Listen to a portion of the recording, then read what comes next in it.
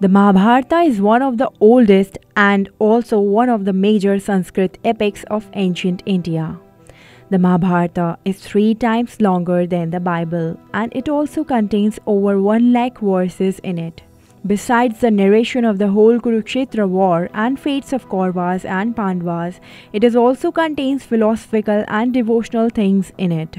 This book teaches us about the life, karma, dharma, and also about God. There are many hidden and untold stories of Mahabharata which you were unaware of and which nobody ever told you before this.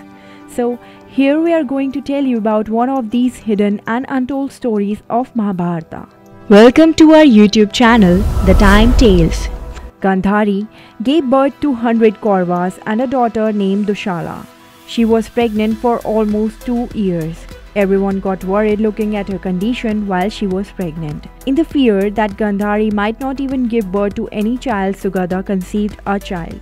Yuyutsu was the son of Dhritarashtra and a maid Sugada who was Gandhari's maid. Yuyutsu played a smaller but yet very relevant and important role in Mahabharata. Very few people know about Dhritarashtra's this son.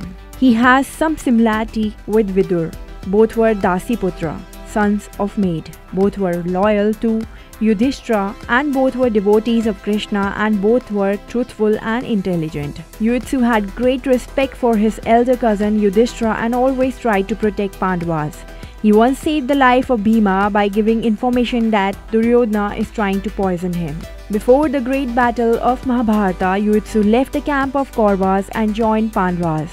He was a Maharathi. He was the only son of Dhritarashtra who survived the Mahabharata war.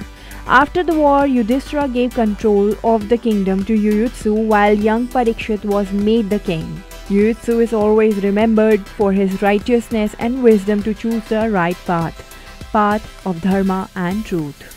Friends, how do you like this story? Tell us in the comment box and please subscribe to our YouTube channel for more such interesting knowledge. Thank you.